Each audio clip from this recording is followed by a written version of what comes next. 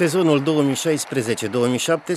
2016-2017 din Campionatul Național Feminin de Volei la categoria Speranțe, întrecere rezervată echipelor având în componență jucătoare de până la 15 ani, a ajuns la faza a doua. Dintre cele 53 de formații care au alcătuit cele 13 serii, cele mai bune 24 au continuat lupta, fiind împărțite în patru grupe a câte șase echipe. Am avut prilejul să asistăm la jocurile derulate pe terenul deținătoarei titlului de campioană națională juvenil Nicolae Nicolae Titulescu Brașov, echipa antrenoarei Monica Salcău. În voleiul juvenil este greu de presupus ca un club să-și poată păstra titlul în anul următor și asta pentru că în cele mai multe cazuri intervine schimbul de generații, situație în care se află și clubul campion condus de președintele Viorel Raicu. Toate medaliatele cu aur din precedentul sezon au avansat în campionatul cadetelor, astfel că noua echipă de speranțe a Brașovului este aceea care a făcut pasul de la minivolei. Alături de formația gazdă au fost repartizate repartizate în seria de la Brașov, echipele similare din Botoșani, Iași, Bacău, Piatra Neamț și Cernavodă. Ca de obicei s-a jucat în sistem turneu, iar la capătul celor trei zile de competiție, primele două clasate din fiecare serie urmau să obțină biletele pentru turneul final. Ședința tehnică s-a derulat la modernul sediu al clubului gazdă, acolo unde cel mai așteptat moment l-a constituit evident tragerea la sorți. În urma acestei operațiuni, turneul a fost deschis de jocul în care Bacăul a învins cu 3 la 0 echipa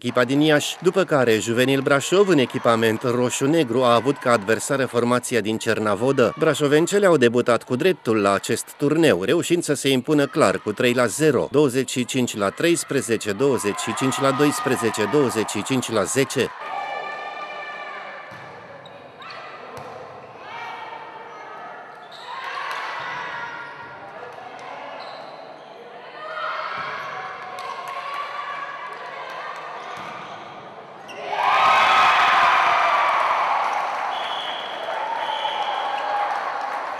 Primul meci a fost destul de dificil, dar am reușit să-l trecem cu brio.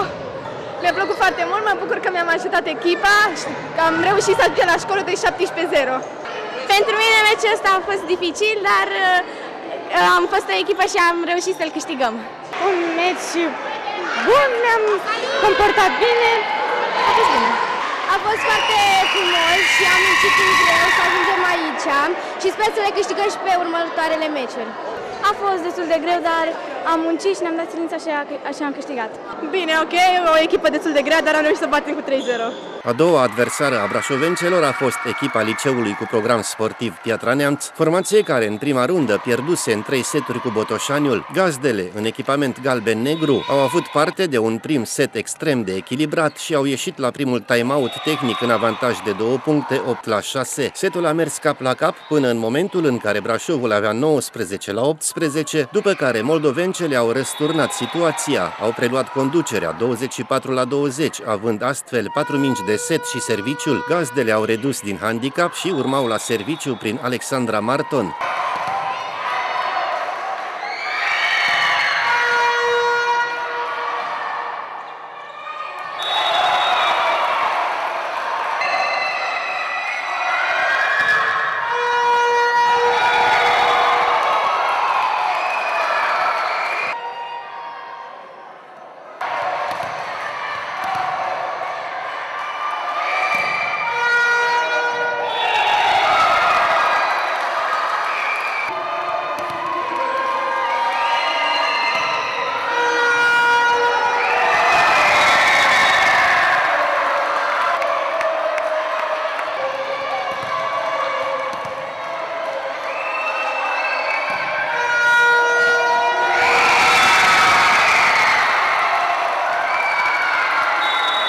Cu moralul ridicat după acest finish incendiar, brașovencele s-au impus și în următoarele două seturi, 25 la 10, 25 la 19, obținând astfel cea de-a doua victorie.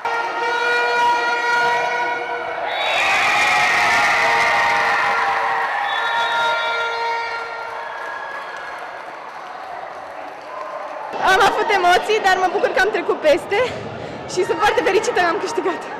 A fost foarte greu, dar am fost o echipă și am putut să-l câștigăm.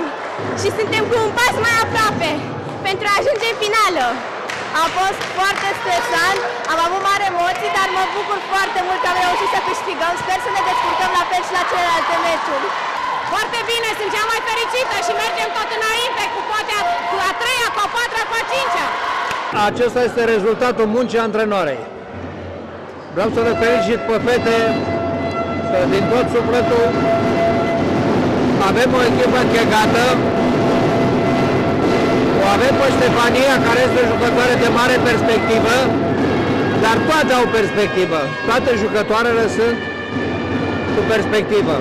În viitor, când vor ajunge la mine, la cadete, la junioare, vă garantez că ele vor fi jucătoare de valoare.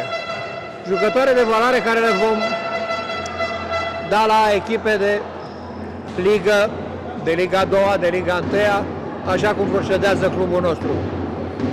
Vreau să felicit antrenoarea, care muncește deosebit de mult cu ele și să felicit fetele, întregul colectiv al fetelor, care sunt deosebite și ne sunt tare dragi. Pentru echipa brașoveană, greul venea în partida următoare cu Bacăul și asta pentru că moldovencele obținuseră de asemenea două victorii. Toate meciurile sunt grele, de la primul la ultimul. Sigur că cel care urmează e mai greu decât cel care s-a terminat, întotdeauna. Dar sperăm ca fetele noastre să se descurce și în următoarele jocuri și în final să ne bucurăm toți de rezultatul care îl vor avea ele. Sperăm că ne vom califica. Dacă nu ne calificăm, nu este nicio nenorocire. Le vom felicita în continuare, sunt ale noastre, trebuie să ținem cu ele până la capăt. Echipa din Bacău, în tricouri galbene, a prins o zi bună în partida cu Brașovul și s-a impus fără probleme în trei seturi la 14, 10, respectiv 13, luând o serioasă opțiune pentru calificare. În următorul meci, Juvenil Brașov avea doar varianta victoriei în fața formației din Botoșani. Era de fapt adevărata finală pentru locul al doilea în clasamentul grupei. Gazdele în echipament roșu-negru au avut un prim set foarte bun pe care l-au câștigat lejer cu 25 la 14. La fel de ușor s-au impus moldovencele în actul al doilea, 25 la 9 și scorul a devenit 1 la 1. Oaspetele și-au menținut forma și în actul următor, la capătul căruia s-au impus cu 25 la 18 și au preluat conducerea la seturi. Setul următor a fost unul de coșmar pentru echipa brașoveană, care, deși a condus cu 21 la 14, nu a mai bifat decât două puncte, în timp ce Botoșaniul a răsturnat situația, s-a impus cu 25 la 23, a câștigat meciul, asigurându-și calificarea de pe locul al doilea și va merge la turneul final alături de echipa din Bacău. Juvenil Brașov a încheiat turneul pe locul al treilea, după ce în ultima zi a învins cu 3 la 0 formația din Iași. Din celelalte trei grupe semifinale au obținut biletele pentru turneul final Dinamo București, LPS Mircea Ilia de București, Dacia Mioveni, Victoria Nădlac, cluburile sportive școlare din Sibiu și Lugoj.